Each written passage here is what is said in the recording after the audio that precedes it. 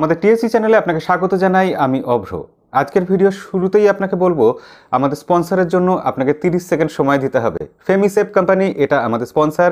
এই অ্যাপ্লিকেশনটা সত্যিই ভালো একটা অ্যাপ্লিকেশন, যার মাধ্যমে আপনার প্রিয়তম যে মানুষরা আছেন, আপনার মা, বোন, ভাই, আপনার স্ত্রী গার্লফ্রেন্ড আপনি সবার ওপর ট্র্যাক করতে পারবেন, সবার উপর নজর রাখতে পারবেন তাদের কোনো বিপদ, আপদ হলো কি না এবং আপনি আপনার বাড়ির বাচ্চাদেরও কন্ট্রোল করতে পারবেন ট্র্যাক করতে পারবেন, তারা কোথায় আছে, কি করছে সেই ব্যাপারে।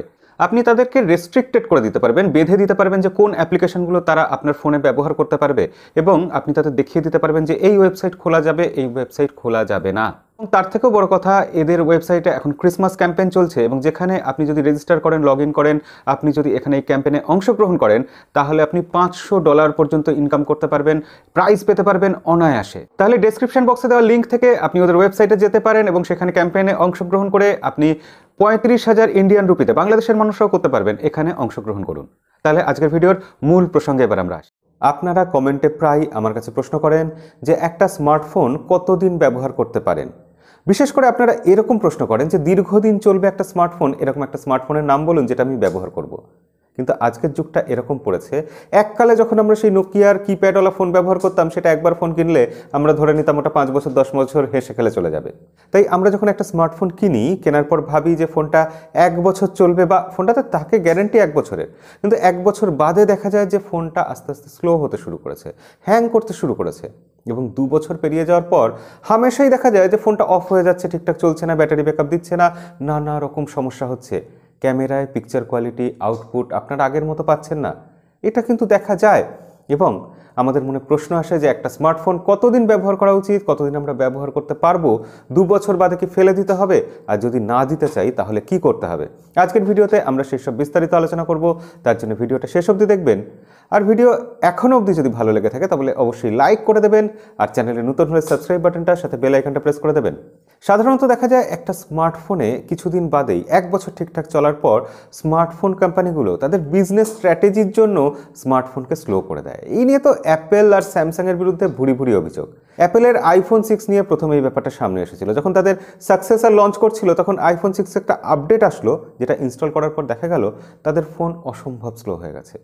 লোকে কেস করেছিল, অ্যাপেল কেসে হেরে যেয়ে গেছিল এবং তারা বলেছিল যে তাদের ফোনগুলোকে তারা ইচ্ছা করে সত্যিই সফটওয়্যার আপডেট দিয়ে স্লো করে দিয়েছে।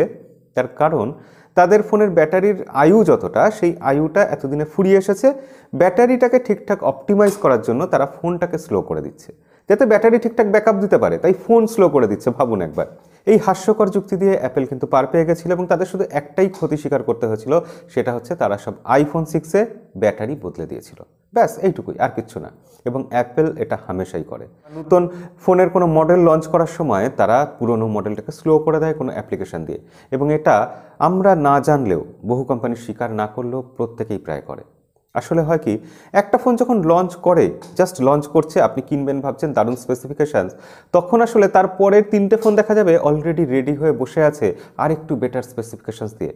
তাহলে কোম্পানিকে সেই ফোনগুলোও তো বিক্রি করতে হবে। আপনি যদি আপনার নতুন ফোনগুলো নিয়ে স্যাটিসফাইড হয়ে যান, তাহলে আগামী ফোনগুলো কোম্পানি কীভাবে বিক্রি করবে? তাই সহজ পদ্ধতি। ফোনটাকে স্লো করে দাও। আরও সহজ একটা পদ্ধতি আছে, যেটা আমরা খেয়ালও করি না। সেটা হচ্ছে ফোনের হার্ডওয়্যার আমরা যখন আগেকার দিনে পেতাম, সেই হার্ডওয়্যার কোম্পানি যেভাবে বানাতো, যেরকম হার্ডওয়্যার দিত, এখন হার্ডওয়্যার এমনভাবেই বানানো হচ্ছে, যে ফোনের হার্ডওয়্যার দু বছর, তিন বছরের বেশি ঠিকঠাক কাজ করবে না। মনে করুন pop up camera pop up camera বলা হচ্ছে কোম্পানি দাবি করছে দু লক্ষ, তিন লক্ষ বার আপ ডাউন করবে। কিন্তু পপ আপ ক্যামেরা যদি এইভাবেই তৈরি করা হয়ে থাকে যে সেটা দু বছরে যতটা অ্যাভারেজ আপ ডাউন করতে পারে, তারপর আর কাজই করবে না। আপনি তো জানতেও পাচ্ছেন আজকে। যদি এরকম হয়ে থাকে যে আপনার ফোনের ব্যাটারিটা এমনভাবেই বানানো, আপনি যেভাবেই ব্যাটারিটাকে ভালো করে ইউজ করুন না কেন, ব্যাটারি দু বছর বাদে গিয়ে আর ঠিকঠাক ব্যাকআপ দেবে না। পুরো দোষটাই কোম্পানির ওপর বা হার্ডওয়্যারের ওপর দিয়ে লাভ নেই, তার বাইরেও আরও কিছু গল্প থাকে। যখন অ্যান্ড্রয়েড টেনের আপডেট আসে, যখন এমআইওয়াই ইলেভেন আমরা ইনস্টল করি আনন্দ করে, যখন আমরা ভাবি কালার ওয়াইজ সেভেন আসলে আমার ফোনটা দারুণ পারফর্ম করবে, তখন আমরা ভুলে যাই যে ওই সফটওয়্যারগুলো টেস্ট করা হয়েছিল কিন্তু অনেক হাই এন্ড ফোনের ওপর লেটেস্ট ফোনের ওপর আমার ফোনটা হয়তো ছ মাসের পুরনো। আমার ফোনের জন্য ওটাকে কিন্তু কোম্পানির পক্ষে সম্ভব নয় অপটিমাইজ করা, কারণ কতগুলো ফোনের জন্য কোম্পানি আলাদা আলাদা করে অপটিমাইজ করবে? পারে না করতে। তাই আমার ফোনে যখন ওই আপডেটটা আসলো, তখন কিন্তু সেটা সেভাবে কাজ করে না। এবং ফলাফল কি? ফোন স্লো হয়ে যায়। এছাড়া যখন রেগুলার কোনো সিকিউরিটি আপডেট আসে বা ক্যামেরার অপটিমাইজেশন আসে, তখনও দেখা যায় যে কোম্পানির এইগুলো যখন আমাদের দেয়, আমরা ইনস্টল করে ফেলি, তারপর আমরা আফসোস করি যে ক্যামেরাটা তো বেটার হয়েছে, কিন্তু আমাদের ব্যাটারি তাড়াতাড়ি ড্রেন হয়ে যাচ্ছে।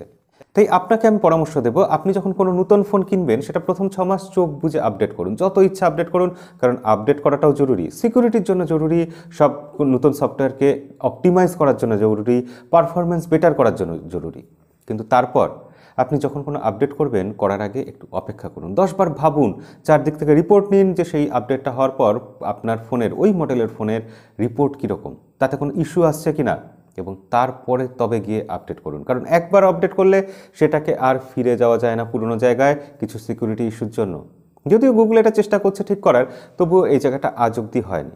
এছাড়া বিভিন্ন অ্যাপ্লিকেশান আছে। যে অ্যাপ্লিকেশানগুলো আমরা ফোনে ইনস্টল করি, সেই অ্যাপ্লিকেশানগুলো আমরা দেখি হাবিজাবি প্রচুর অ্যাপ্লিকেশান ইনস্টল করি যেগুলো ব্যবহারই করি না। সেগুলো ফোনের মেমোরি দখল করে নেয় র্যাম দখল করে নেয় স্টোরেজ দখল করে নেয়। তো সেগুলোকে বাড়তি অপ্রয়োজনীয় অ্যাপ্লিকেশানগুলোকে আপনি সরিয়ে দিন, ফোন তুলনামূলক ফাস্ট হবে।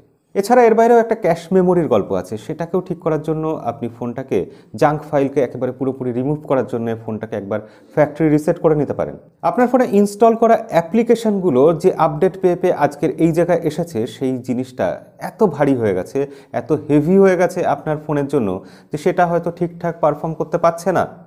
তাই আপনার ফোনটাকে, ফোন থেকে ওই নতুন আপডেটেড অ্যাপ্লিকেশনগুলোকে সরিয়ে দিন। দিয়ে তার দেখুন কোনো পুরনো ভার্সন যেটা আপনার ফোনের জন্য ঠিকঠাক, সেটা আপনি ইন্টারনেটে সার্চ করলে পেয়ে যাবেন, সেটাকে ইনস্টল করুন। যদিও সেখানে একটু সিকিউরিটির ভয় থাকে, তাই সেটা সাবধানে ইনস্টল করবেন, এটা আপনার কাছে আমার অনুরোধ। আপনাকে এটা প্রথম থেকেই মাথায় রাখতে হবে যে আপনার ফোনটা কিন্তু দু বছরের জন্য তৈরি করা হয়েছে। তাই আপনি সেই লাইফটাকে, সেই লাইফ স্প্যানটাকে যতটা পারবেন টেনে বড় করার চেষ্টা করতে পারেন। কিন্তু সেটা কত বড় করতে পারবেন সেটার একটা লিমিটেশন রয়েছে। এটা আপনাকে মাথায় রাখতে হবে। আজকের দিনের ফোন থেকে আপনি পাঁচ বছর একটা ফোন চালাবেন, একদম মসৃণভাবে স্মুথলি কোনো রকম সমস্যা ছাড়াই এই এক্সপেকটেশন না রাখাই ভালো। আজকের ভিডিও এই অবধি। যদি ভালো লাগে, অবশ্যই লাইক করবেন। দেখা হবে পরের ভিডিওতে। আজকের মতো বিদায়।